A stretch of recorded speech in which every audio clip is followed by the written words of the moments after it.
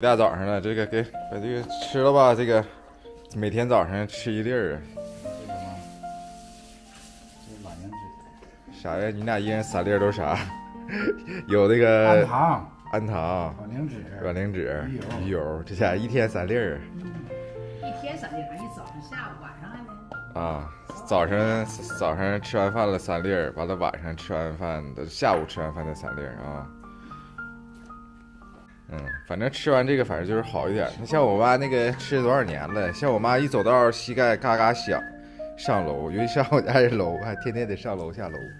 哎，大家好，我是莫测奶爸。这一大早上起来啊，这有爸妈在家就是好啊。早上起来了，我爸给烙点鸡蛋饼，挺长时间都没吃过鸡蛋饼了，今天早上吃的。然后这吃完了之后，这老两口开始吃这个保健品呢。反正这个之前我这个直播的时候也是啊，卖了好多这个保健品，澳洲的保健品，什么这个氨糖啊、鱼油啊，反正这些东西都是我爸我妈经常都是平时都吃的啊。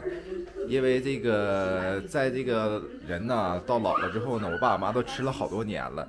像我爸之前呢，这个血脂高啊，然后就是说之前就是说他工作的时候啊，经常这个应酬啊、喝酒啊。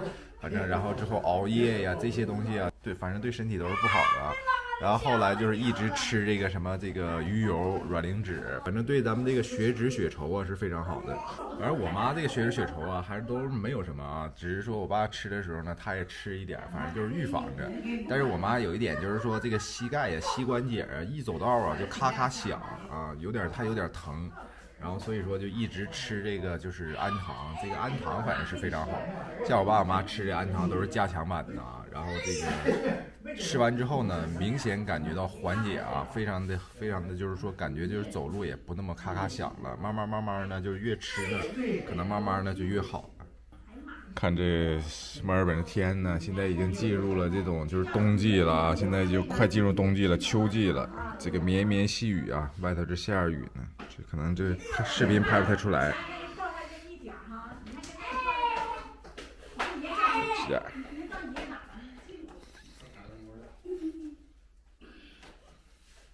天伦之乐呀，这享受着。